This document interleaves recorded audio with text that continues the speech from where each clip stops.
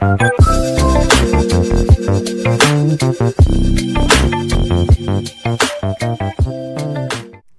everyone.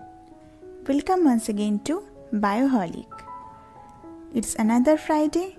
This is the last part of the chapter Chemical Coordination and Integration. Today I will discuss about the hormones of heart, kidney and GI tract and also the other non-endocrine glands like pineal gland and thymus gland. So let's start.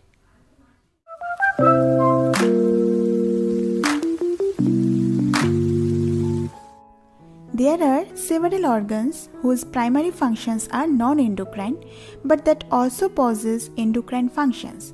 That means they also secrete hormones. These include the heart, kidneys and our GI organs mainly. So these glands are called as non-endocrine gland or non-endocrine tissues though they also secrete important hormones. Clear? So from hearts some hormones are secreted like atrial natriuretic peptide and brain natriuretic peptide. The atrial natriuretic peptide or ANP is a polypeptide with 28 amino acids. It is secreted by atrial musculature of the heart. ANP is secreted during overstretching of atrial muscles in conditions like increase in blood volume. ANP in turn increases excretion of sodium followed by water excretion through urine and helps in the maintenance of ECF volume and also the blood volume. It also lowers blood pressure. And what about the brain natriuretic peptide? Brain natriuretic peptide or BNP is also called as B-type natriuretic peptide. It is a polypeptide with 32 amino acids. It is secreted by the cardiac muscles. It is also secreted in some parts of the brain. The BNP has same actions of ANP and measurements of plasma level of BNP is becoming an important diagnostic tool for heart diseases. In conditions like heart failure, BNP level is increased in the blood. So, by the measuring the BNP level, we can diagnose the heart diseases. Secondly, the kidneys also secrete five hormones. Those are erythropoietin, thrombopoietin, renin, 125 dihydroxycholecalciferol or calcitriol and prostaglandins. So the erythropoietin is secreted from endothelial cells of peritubular capillaries in the kidney and it stimulates the bone marrow and causes erythropoiesis. Secondly, the thrombopoietin, which is a glycoprotein and secreted by kidneys and liver, it stimulates the production of platelets. Thirdly, the renin. The source of renin are the granular cells of juxtaglomerular apparatus of the kidney. It converts angiotensinogen into angiotensin 1 and thus regulate blood pressure. Fourthly, the 125 dihydroxycholecalciferol or calcitriol. Cholecalciferol is converted into 25 hydroxycholecalciferol in liver and this in turn is activated into 125 dihydroxycholecalciferol by parathyroid hormone in kidney. It is important for the maintenance of blood calcium level. And lastly, the prostaglandin PGA2 and PGE2 are secreted by juxtaglomerular cells and type 1 interstitial cells present in renal medulla. They decrease the blood pressure by systemic vasodilation, diuresis and natriuresis. Now moving to the major gastrointestinal hormones. Major GI hormones are the gastrin, secretin, cholecystokinin, gastric inhibitory peptide or GIP, vasoactive intestinal polypeptide or VIP, motilin and ghrelin. Gastrin is a peptide with 34 amino acid. Presence of food in the stomach, vagovagal reflex, luminal distension stimulate gastrin secretion. The source of gastrin are the G cells in stomach, TG cells in GI tract, islets in fetal pancreas. And gastrin is important because it stimulates gastric secretion and motility, promotes growth and gastric mucosa, stimulates release of pancreatic hormones, and also stimulates secretion of pancreatic juice. Secondly, the secretin. Chemically, it is a peptide with 27 amino acids.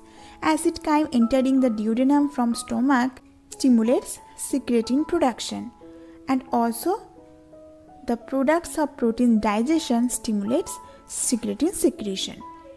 The source of secretin is the S cells of small intestine. It stimulates pancreatic secretion, inhibits gastric secretion and motility. It constricts pyloric sphincter and it increases potency of cholecystokinin action. So thirdly the cholecystokinin which is another GI hormone and it is a peptide with 39 amino acids presence of chyme containing digestive products of fats and proteins helps in cholecystokinin secretion. The source of cholecystokinin is the I cells of small intestine. It contracts gallbladder and pyloric sphincter. It stimulates pancreatic secretion with enzyme, accelerates secretin activity, increases enterokinase secretion. It inhibits gastric motility, but it increases intestinal motility.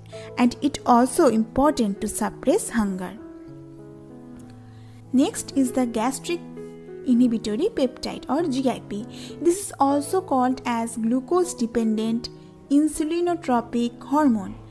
When chyme containing glucose and fat enters the duodenum, then GIP is secreted. The source of GIP are the cells in duodenum and jejunum and antrum of stomach. It stimulates insulin secretion, it inhibits gastric secretion and motility. So the next is the vasoactive intestinal polypeptide or VIP. The presence of acid chyme in the stomach and intestine stimulates VIP secretion. The source of VIP are stomach and small and large intestines. It dilates splanchnic blood vessels, inhibits HCl secretion in gastric juice, stimulates secretion of succus entericus, relaxes smooth muscles of intestine, and augments acetylcholine action on salivary glands and also stimulates insulin secretion. Next is the motilin. When chyme from stomach enters the duodenum, motilin is secreted. The emo cells in stomach and intestine and enterochromaffin cells in intestine secretes motilin. Motilin accelerates gastric emptying, increases movements of small intestine and also increases peristalsis in colon and another important GI hormone is the ghrelin.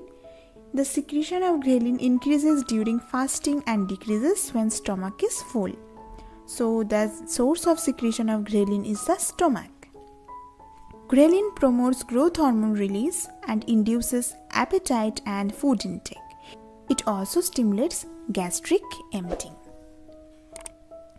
Some other GI hormones are glicentin, glucagon like polypeptide 1, glucagon like polypeptide 2, pancreatic polypeptide, peptide YY, neuropeptide Y, and substance P. The pancreatic hormone glucagon and somatostatin is also secreted from the gastrointestinal tract. And this somatostatin inhibits gastric secretion and motility, also inhibits secretion of pancreatic juice and secretion of all the other GI hormones and mucosa of GI tract secretes enkephalins, dynorphin, neurotensin, serotonin, urogastrone, enterocrinin, villikinin, guanylin, bombesin. However, the significance of these GI hormones are not yet clear. Now moving to another gland that is the pineal gland and its endocrine functions. Here you can see the location of pineal gland. It is located in the diencephalic area of brain above the hypothalamus. It is a small cone-shaped structure with a length of about 10 mm and it secretes melatonin hormone. So melatonin is chemically an indole and the melatonin secretion is more in darkness than in daylight. In animals, the secretion of melatonin varies according to activities in different periods of the day, that is, circadian rhythms. functions of melatonin are Melatonin acts mainly on gonads. Its action differs from species to species. In some animals, it stimulates the gonads, while in other animals, it inhibits the gonads. In human, melatonin signal forms part of the system that regulates our sleep-wake cycle. And it is a potent antioxidant and it also has an anti-inflammatory effect. Melatonin is also used as a dietary supplement to treat insomnia, shift lag syndrome, or in jet lag.